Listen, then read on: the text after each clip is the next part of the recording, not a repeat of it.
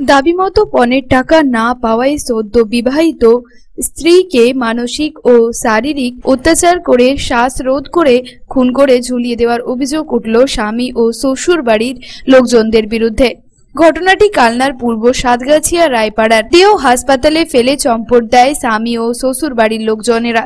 শ্বশুর বাড়ি লোকেদের বিরুদ্ধে কালনা থানায় অভিযোগ দায়ের করাতেই অভিযুক্তরা পলাতক। তবে জানা যায় গত সতেরোই জানুয়ারি কালনার নসরতপুর গ্রামের অনিতা বিশ্বাসের সাথে কালনার পূর্ব সাতগাছিয়া রায়পাড়া গ্রামের মুড়ির মিল মালিকের বিপুল বিশ্বাসের সাথে বিয়ে হয়। দাবি মতো পণ দেয় মেয়ের বাড়ির লোকেরা তাতেও সন্তুষ্ট না হয়ে বিয়ের এক মাস পর ফের বাপের বাড়ি থেকে টাকা আনার চাপ দেয় সদ্য বিবাহিতা স্ত্রীকে। ক্ষুদ্র রোজগারের পরিবারের মেয়ে অনিতা শ্বশুর বাড়ির দাবি মেটাতে পারেনি, তাই সহ্য করতে হতো নানান অত্যাচার। অভিযোগ তাকে শ্বাস রোধ করে খুন করে ঝুলিয়ে দেয় শ্বশুর বাড়ির লোকজনেরা।